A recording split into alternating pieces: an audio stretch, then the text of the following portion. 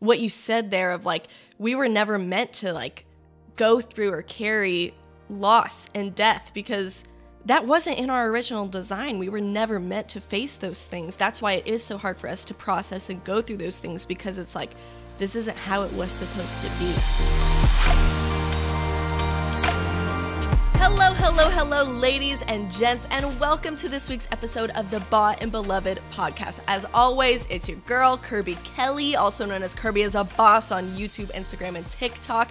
And this week on the Bought and Beloved podcast, I know that we have had so many incredible back to back guests. We had Jacob Peterson, we had Zach Windahl. We're also going through the Galatians series. Don't worry, I have not forgotten about that. But I wanted to take a little pause through that and bring on my friend Anne Wilson here to the Bought and Beloved podcast because not only is she one, an incredible woman of God, but she has a beautiful testimony that she's been able to bring about and communicate through her music, through her book that's coming out. Um, and we're going to talk about all those things and more. But before we do, Anne, how about you just introduce yourself to everybody? Let everyone know a little bit about who you are, what you do, and what it is that you're passionate about.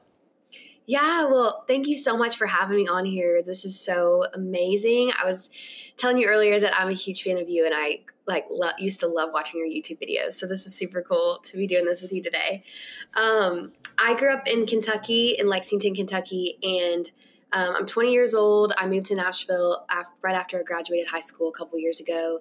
Um, and I grew up really just like in an incredible Christian home. My parents and my, uh, I had a sister and then a brother, um, and we just really were always close growing up. And was raised in a Christian home and became a Christian when I was 12 years old, and um, really just fell in love with Jesus and started to pursue Him and um, have a relationship with Him. And then as I got a little bit older, I um, just started to uh, really have this passion for wanting to be an astronaut and I wanted to work for NASA. So no that way. And yeah, I like met with NASA my freshman year of high school. Uh, me and my parents took like my parents took me to NASA and we met with them and um, we just I just wanted to be an astronaut. So that was like a big passion of mine for a while. Um, and then I started to get into music in 2017 after a big tragedy in my life when I lost my brother Jacob in a car accident. Um, he was 23 years old and um, he tragically died in a car accident. And so that was kind of the moment that like everything changed for me. And i started to really see the lord calling me into music. And and so i started to pursue after um, just pursue after the lord and see what he was going to do. And then he ended up you know giving me this incredible platform to share my story and be able to minister to people. And so it's been really cool to see what god's done in just five short years. Dang well, first of all, I'm so sorry for your loss. And I know we're going to be talking about that today and kind of getting into sensitive subject matter regarding tragedy and loss and, and heartbreak. And I mean, I haven't gone through that specific situation, but as someone who has also lost a family member and it was in a tragic way, um, and knowing that my audience, there's a lot of people out there who relate to that kind of stuff, have gone through it, are going through it, maybe will go through it. I'm sure that this is going to be an episode that really does bring about a lot of hope for people. I mean, that that was the heart behind your song and the heart behind um, your book as well, and um, also, congratulations. I saw that you were what K-LOVE's uh, female artist of the year, and yeah. your song has just like completely blown up. And it, I think I did you perform it at um, Together 22 at the Cotton Bowl? Yes, I did. I saw. I was there and I heard you perform it, and I I think I cried because some of the oh. lyrics that you were saying in the song, from what I remember. Ah, I'm trying to remember them, but I remember crying to your music because I was just like, this is so good and like so encouraging. I think for anybody walking through any form of of mm. tragedy or or doubting God, maybe in a season where they're going through a lot of stuff. So even for me, like your music and I know your book, it's like such an encouragement. And so, congratulations on the achievement, and also know that God is like blessing the work that you are doing. So. Thank you. That's so encouraging. Absolutely. So, um, I, I would love to know, you know, kind of talking about your healing journey a little bit. Um, can you tell us kind of what that process was like for you dealing with grief? I mean, there's probably a lot of layers to it, and especially in, in relation to your relationship with God and your perspective of God in that season. I would just love to know maybe what that experience was like for you and how you were able to process or heal or hurt through that time in your life. Yeah, I think um, that whole season of losing my brother was really hard. I think as a family, it was um, actually pretty healing. I feel like we kind of came closer together through that season. But mm-hmm. um, I think the biggest thing that I had to realize in the very beginning of losing my brother was you're kind of faced with the re- reality of loss, and then you're faced with this question of whether or not you're going to trust God or not. And I remember being in the moment of just finding out. I'd walked downstairs to the police officers in our home telling us that he had died in a car accident. And, um, like seeing my parent, my mom was like pulling out her hair, and my dad was screaming and crying. And my dad had never, I'd never seen my dad cry my whole life. And like being faced with those images in your head is so painful. Um, just being faced with the reality that your best friend's gone and you're not going to, um, that I wasn't going to see him again until heaven. And like, it was so painful, but I could sense God just saying, like, are you going to trust me or are you not?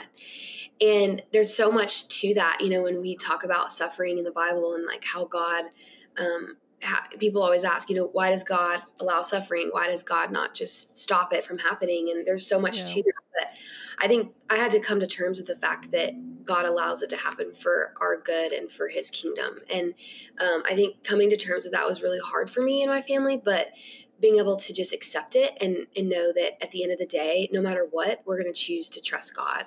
Um, and that was a big part of our healing journey was in the beginning saying like we're going to trust you jesus. No matter what comes no matter what comes out of this we're going to trust that you have a greater plan. And obviously he did because now you look at everything he's doing in my life with my music and it's it's not because of me it's because he chose to use our family's story to help impact other people. And so yeah we see later on like what he's done with the tragedy and how he's you know used it for good. But in those first few moments it was it was really hard because we had to choose to trust him. And it can be super super easy to blame god to be angry with god. Um, but i really f- never felt those feelings because i knew that the only way i was going to survive it was with god by my side mm-hmm. and without him. And so that was a huge part of our healing journey was really just seeking the lord and um, that really helped us. I mean, I would not have survived it without Jesus. He got me through, He got our family through. He was so faithful and so kind and just so there for us when we needed Him and um, continues to kind of pull us through uh, the grief journey. And it's been over five years and it still feels like it's really hard to get through. But um, I think it's just part of. It's part of the journey and the cycle of grief, and there's not really a timeline to it, but with the Lord by your side, it makes the world of difference. And it's so good to know that, like, my brother is with Jesus, and that's where the comfort mm-hmm. comes from. So I'm like so proud of you for having that understanding and that perspective because that's not like an easy or a natural way to view a situation like that like you said it's it's so easy for people myself included like when i lost my dad it was so easy to turn to god and to be angry with him and to have all these questions like reasonably so like why would you allow this to happen? You're you're supposed to be good you're supposed to be sovereign you're supposed to be all these things and you allowed this to happen? Like yeah. why? The the biggest question that we have in any any circumstance of tragedy why god why are you doing this? And i think i was talking about this with my friend zach on the podcast not too long ago that so often in scripture um we don't always get the answers that we expect. And maybe we don't always get the why, but especially right then and there in the moment. Why did this sad thing have to happen? This suffering, this this I don't know, cause of of death, like as a result of just sin in the world that we die, that we face tragedy. But what is important, especially when we look at Job or in the Psalms or in Lamentations, just like these, or in Ecclesiastes, these books that display like human emotion of of mourning of loss of going through the stuff like mm-hmm. at the end of the day we might not always know why but we can always know who to turn to and who's going to be there for us and who's going to provide like you said the the comfort and the joy and the peace that surpasses all understanding mm-hmm. um and i think even with you like you said god was able to it's been 5 years now and in those 5 years even like going very back to the beginning when he made you like he made you with specific gifts and talents and and passions and desires and and ways to communicate and relate to people that even in going through loss those things were able to blossom into bloom like the gifts that he gave you to to minister to people. I mean maybe he's going to send you to space to like you know bring the gospel to to the moon or something. Play at the first church. Be the first worship worship pastor on Mars. I don't know, but you never know. Space cowgirl, right? Space Christian cowgirl. But um, the coolest thing though is that like he gave you gifts and talents and desires, and even through loss, he was able to activate those things to bless people. And mm. so, even people who are listening today, not to not to discredit like the loss or, or the hurt that you're going through in your situation but maybe we can step back and see what has god given me passion dream desire talent whatever that is and what am i currently going through that maybe those things can merge together in order to be a blessing for somebody else? Because your family and your story and your book are impacting people and in a, in a way that maybe otherwise you wouldn't have been able to step in and relate to people and, and bless people. And I don't know, is there anything that you want to add to, to that or that, that vein of thought or thinking? Yeah, I totally see how God's hand was in my life, even as a little girl, preparing me for this, and um, gave gave me a gift of of music that I never knew I had or never used or whatever. And like, the Lord was so good to to kind of prepare me for that. And I think that um, I always remind myself of when I'm when people talk about tragedy and loss and mm-hmm. um, the question of why does God allow it or whatever. It's it's always for me. It's like we don't even deserve to be alive. Like let let alone be forgiven of our sins to have a God send His Son to die for us to have eternity with Jesus and like have that opportunity.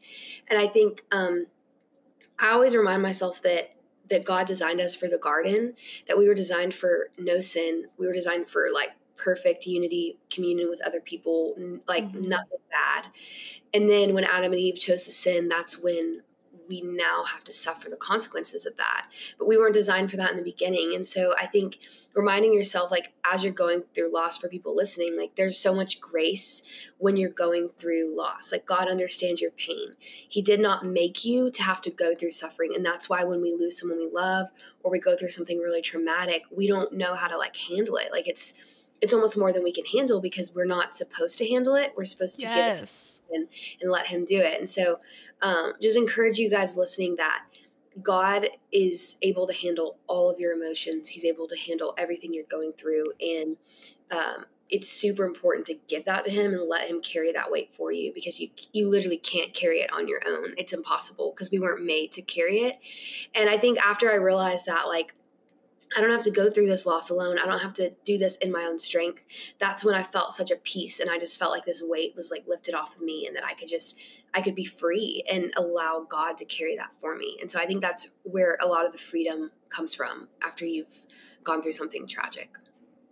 That is so good, especially just what you said there of like we were never meant to like go through or carry loss and death because that wasn't in our original design. We were never meant to face those things. So, literally, like, you just blew my mind with that statement of just like, that's why it is so hard for us to process and go through those things because it's like, this isn't how it was supposed to be. So, like, how do I, how, like, what is going on here? And mm-hmm. even, even that is so good, Anne. You have no idea. That literally just blew my mind. But I even think about like, I think this is the prime example that so many people go to when it comes to loss in scripture is Lazarus and Jesus weeping over Lazarus. Um, mm-hmm. Um, and whether or not you've read that story in scripture before or not, or heard that or not, to those of you who are tuning into the podcast, um, Jesus loses a friend. And the thing about Jesus is that I think it's so easy, especially in times of tragedy, whatever that looks like, for us to see God maybe as further away, more mm. transient, more, you know, sovereign God of the universe, like all the way over there. But we also have to remember that he came down in the flesh and that he is immanent and he is close to us and he desires to be near to us. Um, so much so that he went through the human experience. Like he was the most human human. Like he mm-hmm. went through every temptation and trial that we would have gone through and he understands loss. Not only does Jesus understand loss in the sense of I lost my friend Lazarus, like I lost my bestie, uh, but also God understands loss in that he sent his son to die the death that he never deserved, that mm-hmm. we deserved. Like he yeah. allowed his son to go through that and jesus himself submitted to going through that yeah. so if anybody understands loss and the the weight of of sin and death and all of those things it is god and that yeah. is another reason why we can't turn to him because this is something that he didn't even withhold himself from going through for those of you who have experienced loss you know that that is something that is horrible. You don't want anyone to experience the the weight of that. But like God didn't even allow for himself to be like exempt from suffering, mm-hmm. which is mm-hmm. crazy to think about, like the suffering servant. Um, and and the beauty of what Jesus did on the cross is that it brought redemption. Yeah. And it healing takes time. Even like you said, like there there is no timeline on it. There's no timestamp on it because there are times where I reflect back on the loss of my father when I was what 10 years old. I'm 25 now. And I think about that and it's like I still there's still days where I mourn that, you know, where I see people getting married and it's like, well, my dad wasn't there for me in that season of my life. Like I didn't have a dad to walk me down the aisle or and you know anything like that. But not not to go down that road, but mourning still happens for me in my life. But um it's it's knowing that God is there for me and He understands. Um, yeah. And that God has still been able to bring about so much good through that loss that mm. I've been able to press on and, and like you said, have that comfort and have that hope amidst the heartbreak of of life. And so one question I do want to ask you, you can add anything you want as well, but you know, there's probably a lot of people who are tuning in um, who are experiencing grief and loss. And rather than running to God and maintaining that relationship with God, they just want to abandon their faith. Like they're, I'm done, I'm out. These this experience is too hard, and the questions don't have the answers I want. What would you have to say to those people who is maybe unsure of God in this season of their life? Mm-hmm. I think um, to like say this in the nicest way possible but it's you're going to realize sooner or later that you can't do it without him mm-hmm. and i think you can try to do it in your own strength and you can try to um, you know res- you can just resent god and be mad at him because he didn't stop it from happening or whatever but it's not going to take you far because you're going to realize that you can turn to earthly things, you can turn to material things, you can turn to drugs and alcohol or whatever, but it's never going to fulfill you because you were designed by God and the only person that can fulfill you is God himself. And so I think realizing that is super hard, but it's the reality of it. And um, I always just remember in the very beginning of losing my brother and right after my brother died, we lost three other like young guys in our area and that my oh brother oh my gosh. it was really tragic and I remember that some of those families were really struggling with their faith at the time, and we were we were solid in like knowing that we wanted to, you know, keep pursuing God, but they were still kind of in that season of we don't really know. And I just remember having a talk with one of them and encouraging them in, in, that and letting them know they've they've got to trust. And the second that they decided to trust God, everything changed for them, and they started mm-hmm. to mm. feel this peace that surpassed all understanding. But they didn't feel that peace until they chose to trust God and chose to surrender to Him. And I think that that's super important that no matter what you feel about if it's fair or not, or, you know, why did you not stop it, God? Those are totally legitimate like feelings that you're going to feel that there's something wrong with feeling that way but mm-hmm. realize that god is in control and that he has a, the bigger picture in mind that he's not looking at these tiny little things that are happening on earth but he's looking at the bigger picture of the kingdom um, and knowing that you're going to get to spend all eternity with your loved ones that you're going to get to see them again but that God has a plan for you. If you're still on this earth right now, God has a plan for you. Like there's still something that you're supposed to be doing for his kingdom and for his glory that he's not done with you yet. And that was also another thing like the encouragement of knowing like me and my mom and dad and sister are still here. That means that we still have stuff to be doing. Like God mm-hmm. still has a plan for why he needs us on this earth. And so I would just encourage you guys to just surrender to God. Like you're not it's not going to be any better. It's it's going to it's going to be worse without him. You're going to go down a path of um destruction and loneliness and feelings of of, of, just complete isolation. But when you surrender to God, there's so much freedom. He's going to get you through everything. He's going to carry you through. He's going to love you through everything. He's going to be incredibly faithful to you. And you're going to start to see Him work in your life. You're going to start to see Him turn this tragedy into something beautiful. And you're going to look back and be so grateful that you chose that. And that's why, like, we have free will to, to choose to mm-hmm. trust God. And it's so important that we do.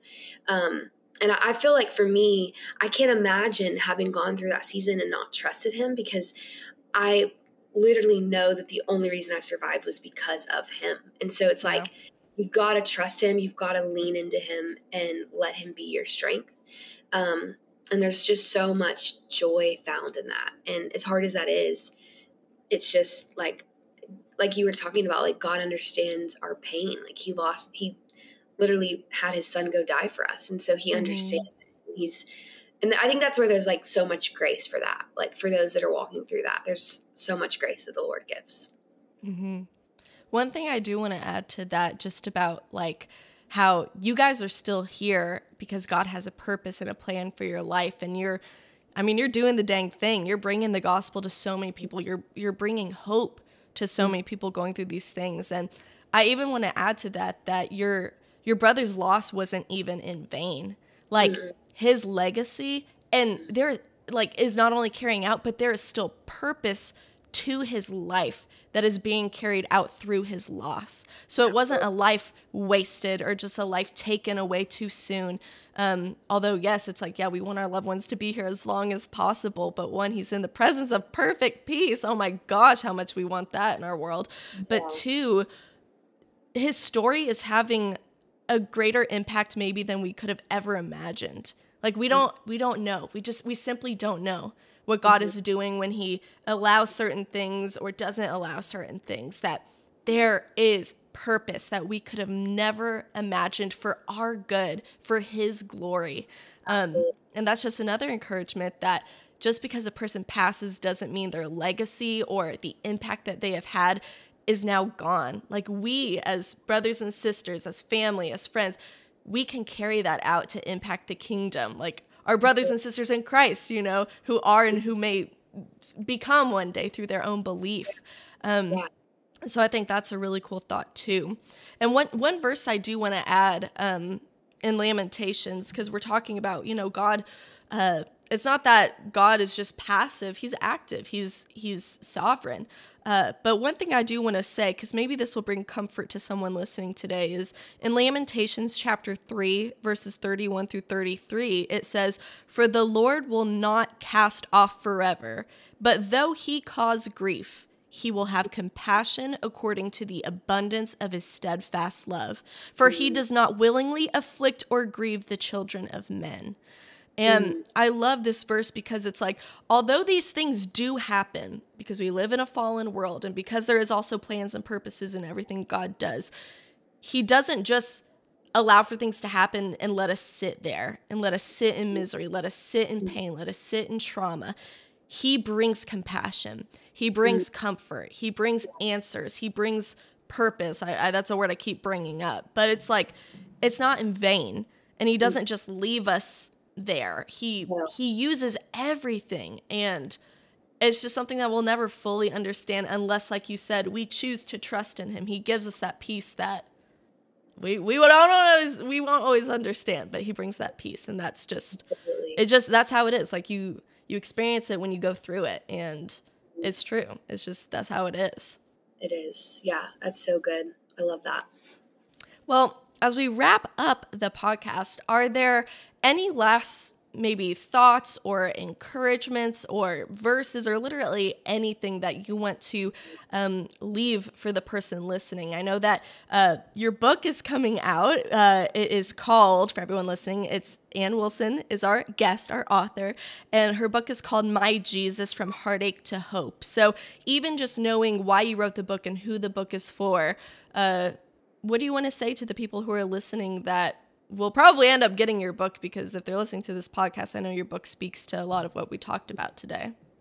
Yeah, I would say my, my book, My Jesus, is was really amazing to be able to write because as we released the song in April of 2021, we saw that song just impacting a lot of people. We did not expect that. We weren't like looking for that to happen. And then I started to see like how people were really relating with my story. And so we wrote the book just to talk about the story and go in more depth of the story. And so um, I would encourage you guys listening to go read it or get it on Audible because it it's such a testament to how God can take something so awful and turn it into something so beautiful. Yeah. And the book goes into detail of every single miracle that God performed in our life, every single thing that God did, every single time God showed up, how He never let us down. He was so faithful, and um, and I think in, in the book is called From Heartache to Hope, and it it just is such an encouragement from how you can be in the depths of pain and then see the hope in Jesus and how He lifts you from that pit of pain and depression and grief and all of those things. And so um, I really encourage you guys to read the book. Um, literally not because of anything to do with me, but because of mm-hmm. God and how He's so faithful in our family story. And like it's been so cool to see people already messaging me of like, "Hey, I read the book and it's you know changed my life and given me a new perspective." And um, and it's not even really just for people who have lost someone they love, but it's mm-hmm. for anything that you're going through in your life right now, and of all ages too. Uh, I know like some little girls and boys in like third and fourth grade that are reading it and they're loving it. Aww. It's like it's no matter what season you're in, like God can use this story to help you and and speak life into you. But um, I would just encourage those listening to um, just take this next season of life that you're in right now and choose to trust God in the midst of it. I mm-hmm. remember before my brother passed away, I never really had a season to where I had to trust God. Like I had a great family. Like we were very blessed. We had everything we needed. I never really needed to fully surrender myself to him until my brother yeah. passed away. And so look at it as a gift. Like this is an opportunity for you to surrender yourself to Him fully um, and to just start to see all that He's going to do. And I love like telling people to get a journal out and journal like what God does every day. Like mm-hmm. pray about something, write it down, like look and see years from now, like what God is going to do in your life. And it's just going to be such a gift to know that your choice of surrendering to Him, He's going to bless you for that. So um, there's so much there's so much to that, but um, the book really goes into detail of how God goes in the midst of your life and does miracles and you know, redeems you and restores you. And it's been such a gift to, to, see how the story has already been impacting people. So definitely check out the book. Um, you guys can get it on all websites for where you get books and then my website, annewilsonofficial.com. Well, there you go, everybody. Go check out that book and check out her music too, because she's a phenomenal singer. Um, no, seriously, you're really talented.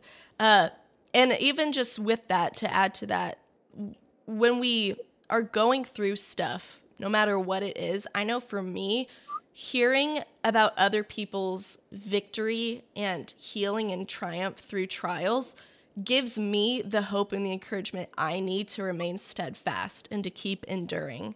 So if you just need that, even just like hope and an example to look at that says, I can get through this too, this book is a testament and an encouragement and a platform for you to do that as well. So, absolutely, just wanted to add that as well. But Anne, thank you so much for guesting on my podcast today. I'm so happy that I got to have you guest on here and and share your story and be vulnerable about the things that you went through. Um, but for anybody out there who uh, is interested in in learning more about you and everything you're doing, is there a like a, a best place to look you up on social media, website, music? Like, yeah. where can people check you out? So on Instagram and Facebook, it's Anne Wilson Music. And then online, you can find my website, annewilsonofficial.com. And that has all my touring dates. We're touring a lot next year, um, finishing up this year in like the West Coast and then starting Winter Jam in January. So um, you can go and find all my touring dates there and new music coming out and all of that stuff, merch and any announcements we have on the website. So Sweet. Well, you know where to go, guys. And I'll keep it, uh, if you're watching the podcast, not just listening, but watching, I'll put all that in the description so you can go check out all her stuff. But again, Anne thank you. And to everybody who's listening, thank you for tuning in. Yeah. Thank you for tuning into the and Beloved podcast. Uh, feel free to subscribe, to listen to the podcast. I put out new video portions of the episode on Tuesdays, the audio releases on Wednesdays. So subscribe, hit the bell, follow wherever you're listening so you can get notified when new episodes drop. Uh, but until next week, I love you guys, and I will see you again here on the and Beloved podcast. Bye.